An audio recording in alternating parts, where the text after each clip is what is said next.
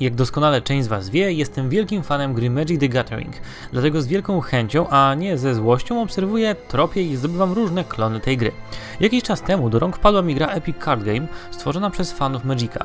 Ci postanowili w małym pudełku zamknąć całą radość, jaka płynie z pierwowzoru, ale chcieliby ta gra była kompletna, bez konieczności dokupywania wielu dodatków. Tak więc stworzyli kompletny produkt i dodali do niego historię wojny bogów, którzy postanowili nie mieszać się w sprawy śmiertelników, tylko co jakiś czas czas zrzucają im różne artefakty, by ci mogli się wyżynać w najlepsze.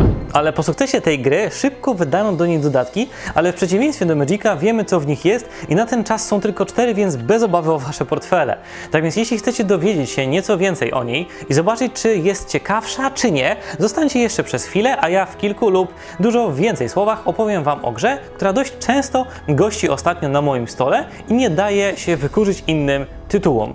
No chyba, że Magicowi. Tak więc herbata w dłoń i oglądamy. Najpierw wypada zobaczyć co jest w pudełku, a to zawiera malutką instrukcję, która szybko rzuci Was w wir gry i co najważniejsze, karty do tej gry. Najpierw pokażę Wam 8 dwustronnych kart. To jedyne z tego co udało mi się zaobserwować, to co powtarza się w pudełku, bo cała reszta to zupełnie inne karty i nie ma chyba żadnych powtórek. Piszę chyba, bo przeglądając ponad 100 kart pięknie zdobionych można się pomylić. Epic Card Game ma kilka trybów. Pierwszy z nich to Sealed, gdzie tasujemy wszystkie karty i rozdajemy losowo 30 dla każdego z graczy. Drugi to Draft, gdzie losujemy paczki po 10 kart. Najpierw wybiera z tej paczki jedną kartę pierwszy gracz, potem drugi. Czynność powtarzamy, aż gracze będą mieli po 30 kart. Ostatni tryb to granie skonstruowanymi i dobrze zbalansowanymi taliami. Wystarczy podzielić wszystkie talie według kolorów i gotowe. Bez względu na to jaki format lub jego dostępne wariacje wybierzemy, gramy już tak samo.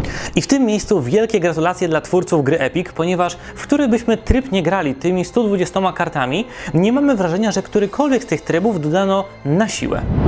Sama gra jest dość prosta, o ile przepiszemy sobie gdzieś hasła kluczowe z kart, które tłumaczone są w malutkiej instrukcji. Szkoda, że nie dodano nawet dwóch kart, gdzie byłoby to streszczone. Przyspieszyłoby to i ułatwiło start nowym graczom. Pojedynek zaczynamy od dociągnięcia 5 kart i 30 żyć na głowę. I mamy pierwszą zmianę w stosunku do Magica. Tam było 20 żyć i 7 kart na starcie. Jeśli ręka nam nie podejdzie, możemy wymienić jedną, dwie lub wszystkie karty, ale za każdą wymianę zapłacimy jednym życiem. Po dobraniu na rękę kart ukazują się nam dwa rodzaje kart. Pierwszy to czempioni, czyli różne stwory, ludzie, gadziny, demony, golemy, smoki i inne takie, które będziemy mogli przywołać, czyli wyłożyć przed siebie. Drugi rodzaj to wydarzenia, którymi będziemy zadawali obrażenia, cofali karty na rękę, wybierali jedną z dwóch opcji, bo też jest taka możliwość, czyli wpływali na świat gry. I zapytacie pewnie, ale gdzie są lądy? Jak zagrywamy karty? Ten element też uproszczono, bo ich po prostu nie ma. Na początku każdej rundy gracze otrzymują jeden surowiec i gracz, którego jest tura, może go wykorzystać na zagranie karty wydarzenia lub przywołania stwora. Obrońca, jeśli zostanie zaatakowany, może się między nimi bronić, zagrywając kartę wydarzenia, po to mu ten jeden punkt. Po całej turze, na początku tury kolejnego gracza, znów wszyscy mają po jednym surowcu. Dzięki takiemu potraktowaniu sprawy stała się rzecz niesamowita dla pierwowzoru tej gry, czyli dla Magica, ponieważ w pierwszej turze w Epiku możemy wystawić tak niesamowicie dopakowaną kreaturkę, że jeśli ta pojawiłaby się nawet w pierwszych czy w kolejnych e, turach w Magicu, oznaczałaby zapewne koniec naszego oponenta. Tak czy inaczej, po zagraniu kart możemy ruszyć do ataku. Stwory mają standardowe współczynniki ataku i obrony. Obrońca może wystawić jedno lub kilka kreatur do obrony i te w całości blokują atak. Po zagraniu ewentualnych wydarzeń następuje rozdzielenie obrażeń wedle woli kontrolujących stwory.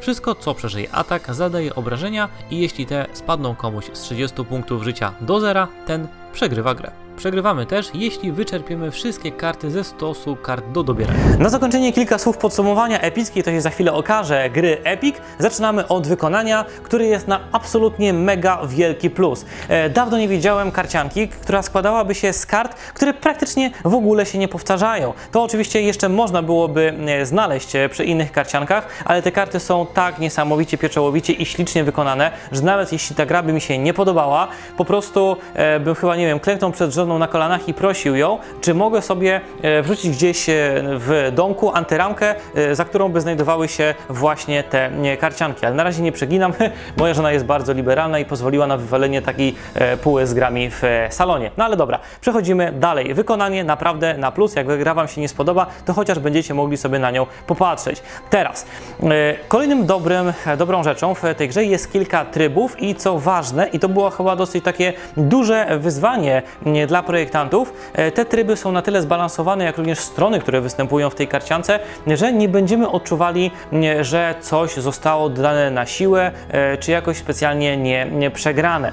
E, w grze występują, i tutaj już przechodzimy do takich plusów, minusów, e, mega epickie, w końcu epic, komba, e, którymi właściwie możemy, możemy sobie grać spokojnie, spokojnie, powoli, a nagle bach, trach, ktoś coś zrobi, te 30 żyć stracimy w trybie na wczoraj e, i zamiast 30 stracimy nawet, nie wiem, 40 żyć. To oczywiście może się komuś podobać, ale mi takie e, akcje epickie akurat jakoś nie w smak. Troszeczkę jestem przyzwyczajony do czegoś innego. Warto byłoby teraz, no bo skoro, skoro sami twórcy nie odżegnują się od tego, że są wielkimi fanami MTG, porównać tę grę do Magica. I teraz powiem Wam, co to tak naprawdę jest. Tak naprawdę jest Magic, e, tylko że nie ma tutaj lądu, lądów, mamy 30 żyć, 30 żyć, dobieramy 5 kart na samym początku, mamy możliwość wystawienia, czyli takie, nie wiem, mokre sny wszystkich Magicowców, e, bardzo dobre, dopakowane stwory od e, pierwszej rundy. Oczywiście niestety może robić te, te, to też nasz e, przeciwnik,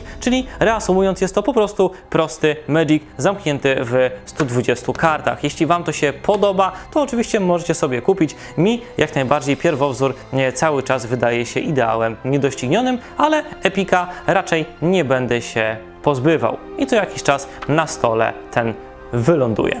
To tyle na dzisiaj, do następnego razu. Trzymajcie się. Hej!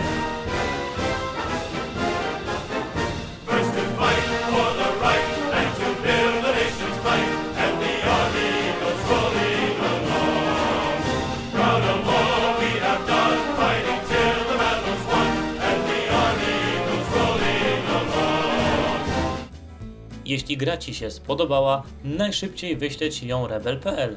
Godny zaufania, największy sklep z grami w Polsce.